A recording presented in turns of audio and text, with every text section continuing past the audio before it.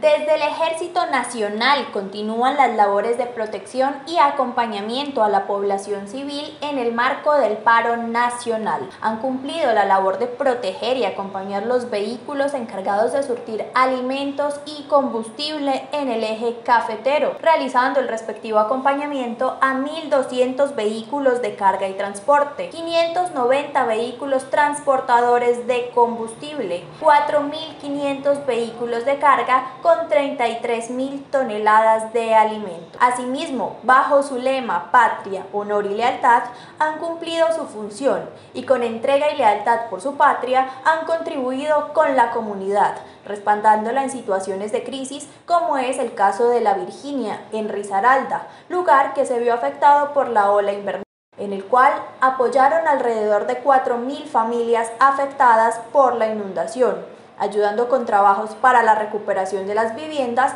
y la distribución de 600 mercados, 1.200 prendas de vestir y kits de bioseguridad a las familias afectadas.